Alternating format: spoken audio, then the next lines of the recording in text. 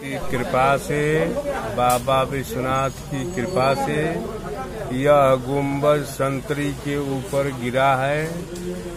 एक बंदर के सहारे और एक पटिया टूट करके सीधे संतरी के सर पर आ करके गिरा है।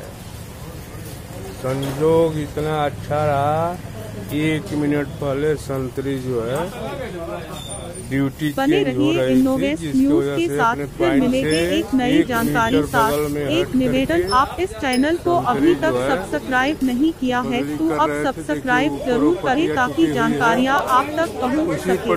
के नीचे तब तक अपना और अपने लोगों का ध्यान रखें।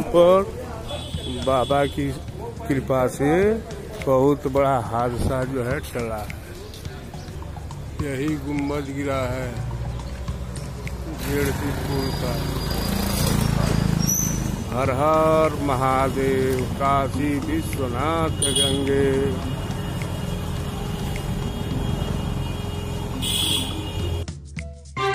खबरों में बने रहने के लिए हमारे चैनल को सब्सक्राइब करें और नोटिफिकेशन पाने के लिए।